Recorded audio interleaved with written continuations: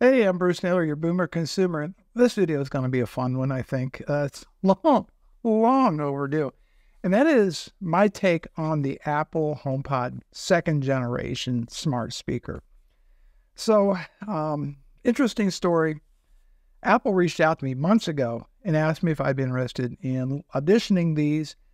And I said, you know, I'm I'm really more of a audio audiophile type of channel, so I'm very much into things that produce excellent sound quality at an affordable price. They said, look, Bruce, let us send them to you and uh, just take your time and, and, and make your, your video. And that's what they did. They sent me a pair of these home targets because in our conversations, I said, you know, um, I do own a HomePod Mini. I said, however, as I understand it, if you want to get the best sound, the best audio experience with HomePod, should get two, which puts you in a price of approximately $600. So I thought long and hard about how I would do this video. This is not a review of the HomePod. Okay, this is not a review because there's plenty of those. People go over the specs and features and all that kind of stuff. But rather, would make this video from the approach of somebody that really digs great sound. And of course, convenience. I mean, why not? That's great and take it from that point of view, that perspective.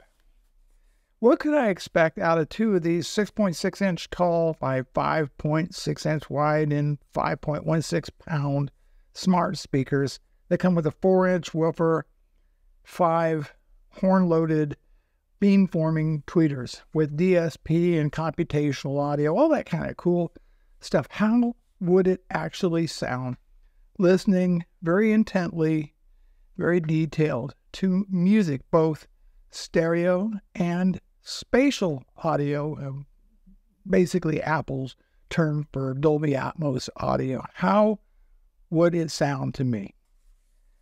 Well, let's just talk about the setup process. You know, first off, if you're an Android user, you got Windows computers and all kind of stuff, Apple's really not marketing this to you. You really do need to have an Apple device, at very minimum, at least an iPhone or an iPad of some sort. And you need that in order to set it up. Because as soon as you plug it in, it comes to life. My phone, for example, you got a pop up right on the screen to finish setup of the HomePod. Couldn't be, really couldn't be any more simple. Now, um, apparently, what this thing does when you plug it in, uh, it uh, kind of determines its location and makes adjustments to the audio. And as I understand it, uh, computational audio is constantly adjusting to give it, you know, the best bass and frequency response, all that that is capable of. So as you move it around, it's always adjusting itself. Is that a cool feature?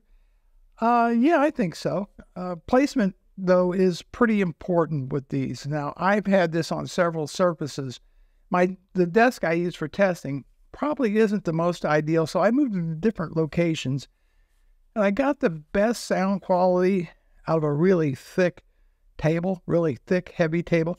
That's when I got, I think, the best sound quality, but that's not always possible for most of us.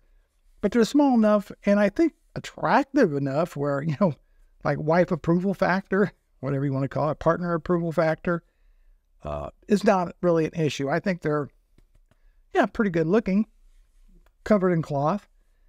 It's a magnet for pet hair if you have a cat like I do. yeah, I found myself actually using a roller on this thing. Uh, some of the things that I really liked was handoff, where I could be on my iPhone, select a track music, and then you just tap your phone right on the top there, and the HomePod takes over. That's great. You really do, though, need to be in the Apple ecosystem to get the most out of the HomePod. If you're in this for sound, I definitely think you should consider to have one by itself sounds very, very good for a smart speaker and perfectly acceptable for background music, for example, if you're not listening critically. But if you really want to get the full experience, you want to get great sound, yeah, like I said, you're going to need two of these. Let's just talk about bass for just a minute. Uh, initially, I thought the, I mean, how powerful can a four inch woofer be? Well, this thing is like really potent. And, uh, but I didn't really like the bass that came out of it uh, initially. I thought it was too thumpy as opposed to being fast and smooth and, and deep. I thought it was more, you know, that thump, thump, thump type of bass. And now there is a setting uh, in the home kit software that you can turn off, or it's called uh, reduce bass or bass reduction.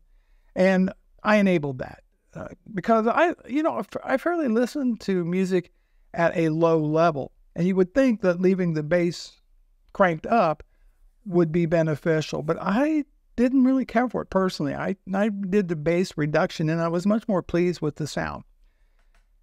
Uh, I tested this using the Apple uh, music application with spatial audio tracks. And one track that I listened to was uh, from a um, Ethan Iverson. It was a track called uh, Technically Acceptable. And that is a kind of a jazzy type of song, or I should say track. The bass was great on it. And here's what happens when you listen to Atmos on here you will not necessarily hear things overhead per se. You won't necessarily hear things behind you. What happens is, say the sound stage is this wide, when you enable or listen to a Atmos track, it's going to sound much wider and maybe a little bit taller. As you step away from the HomePods, that begins to collapse. All right. But it is neat and it sounds really cool. I don't feel that it really took away from the listening experience all that much. I'm going to be testing this with an Apple TV 4K for Atmos movies and mixes, and that'll be another video that's coming up. But it definitely expands the sound stage in a in a very great way. But I still found myself listening mostly to two channel uh, audio mixes with the HomePod Gen 2. Now, as far as, you know, some of the technical details, I've tried to find out as much information as I could, like the tweeter size or how many watts per channel these things put out. Couldn't really find anything that substantiated what I believe. One measurement that I believe is accurate is hey, what's the frequency response? 33 hertz to 19 kilohertz.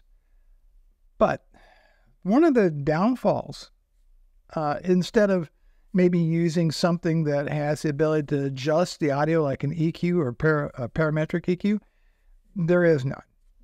What you get is what you get out of here. Now, there's so there's no bass, there's no treble adjustments really for this. You live with with the sound that it makes. Now, a few tracks that I listen to uh, and is uh, Amy Winehouse's I I told you I was trouble I believe this was like a video special. You get it on DVD. Uh, I downloaded it digital format from Apple Music. I, I just love it. What great, great singer Amy is. Here's what I think. The the I think that it the the I think the mids were a bit lean. You know what I mean by lean? I mean kind of scooped out. So rather than being forward, it's kind of pulled back a little bit. And I found that just about everything I listened to. And and you know, mid range is kind of where a lot of the music, the voice, and all that lives. It would be great to be able to, to bump that up just a little bit. But I understand when you're doing a two way configuration, even with DSP and computational audio, those mids just seem to be a bit scooped out to me, and the highs seem to be just a little bit overly warm. It didn't matter what, what music that I really listened to. Another uh, song uh, that I listened to was from the album But Seriously Folks by Joe Walsh. Life's been good to me so far. Love that tune. That's just, if there's a song that says partay, that would be one of them. Again, I felt that the mids were a bit scooped out on here. But the pace is was punchy. Now remember, I had bass reduction turned on and it was still punchy, but I just think that it wasn't as overwhelming with that turned off. Now, you may feel just the opposite. The highs were really, really bright. So I think sound quality is generally very good. You know, it gets loud enough for a small room. This, is, by the way, I think these are more of a near field type device. All right. I think this is what they're they're, they're meant for more near field listening. Yeah, if you have a small room or what you know, what have you, a bedroom, a home office, you know, a small den, small living room, these are gonna be fine for music listening. Now we're not talking about with television and Dolby Atmos and all that. That's for a different video. I think they're probably not up to the job. I certainly can't compare to a whole bunch of powered speakers or uh, or using an you know a dedicated amp and, and speakers. Rather, man, it's tough. Yes, they sound really good in a stereo pair. Yes, there are. It is not, in my opinion, an audiophile quality, but it's very, very good. I mean, it's really good, and I think Apple pretty much knocked it out of park as far as its intended audience. Sometimes audio is good enough for 99% of the people out there. You know, uh, no knock to people that use like Sonos and other uh, such devices, but it, I don't really feel it's audio quality. Yeah, I think maybe in another generation or two, it just might be. It just might be. I don't know how much power this puts out. I, and if you know, put it down in the comments. I've seen somewhere between 20 to 48 watts roughly, depending on how loud you have it. Again, Apple's kind of tight lipped about all the technical stuff that's going on inside of here.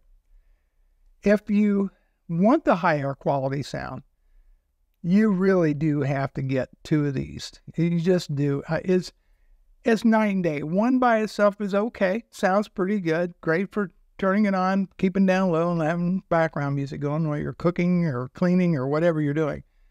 But if you really want to improve that, you need two of them, and that puts you around 600 bucks. And there's probably better. If you're really into high quality audio, your money's going to be better spent elsewhere. But, and this is the big but, here's the thing you're also getting a smart speaker and it has a lot of useful features. You know, I can get the temperature in the room, the humidity in the room, I can schedule reminders, I can do it. Again, this is not a review of the HomePod Gen 2. Either Siri, you either love it, don't like it, whatever, but that is what you have.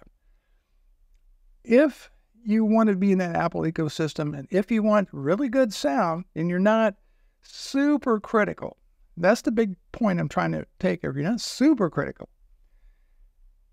then yeah, this could make some sense. These could absolutely make some sense. They're quite pleasing to listen to. They're not tiring or fatiguing.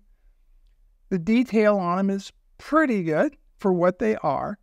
You, you shouldn't expect these things to sound like a hundred thousand dollar pair of speakers, but they get the job done.